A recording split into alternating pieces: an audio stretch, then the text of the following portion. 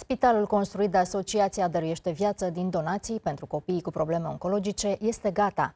Este cea mai vie dovadă că societatea civilă începe să devină o forță în România. Asociația nu se oprește însă aici. Va construi un nou spital pentru a muta în el toate secțiile de la Marie Curie.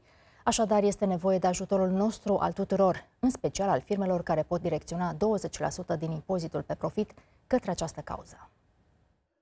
Acest pat de spital e întregul univers al Danielei, o mână de om aruncată aici de o boală cu nume lung și complicat.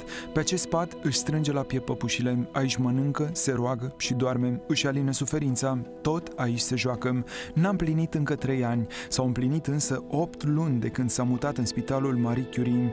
Tot pe acest pat, noaptea, mama își face loc la picioarele ei. Geamul salonului dă fix către un perete scorojit și gri. Secția de oncologie are 30 de paturi, 30 de copii și 30 de adulți care îi veghează au acces la doar două toalete și un duș. Mai ales seara te stai la rând, să aștepți pentru acești copii care stau cu lunile pe patul spitalului, nu există spațiu de joacă, un loc în care să uite de suferință, să copilărească. Copiii aceștia au nevoie de mult mai mult spațiu, de condiții mult mai bune, au nevoie de mult mai mult decât ceea ce putem să le oferim pe această secție. Tatăl Danielei e mai tot timpul pe drumul dintre casa din Bacău și spitalul din București. Medicul mi-a spus, luați loc, vă rog, uh, feța dumneavoastră să moară. Tratamentul a dat rezultate și Daniela e mai bine. Cred că Daniela stă aici câteva ore. Pentru prima dată, tatăl a pășit în noul spital construit de Asociația Dăruiește Viață lângă Spitalul Marie Curie. Asta e fix, eventual, poate e fix ceea ce face diferența între, că de, de, cred că de multe ori în cancer e, nu știu, la limită, ori, ori. Și dacă psihic copilul e bine, îl face să nu se mai gândească mult la ce urmează, ce se poate întâmpla.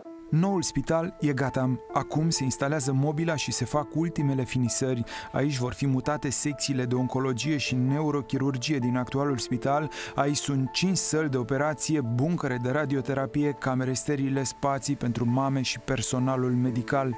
Așa arată un spital demn de secolul în care trăim. Saloane cu maxim două paturi, cu toaletă și duș, saloane în care pacienții au confort și intimitate, foarte important, sunt paturi pentru părinții care stau la căpătâiul copiilor să nu mai fie nevoit să doarmă în același pat cu pruncul sau la picioarele lui sau pe un scaun.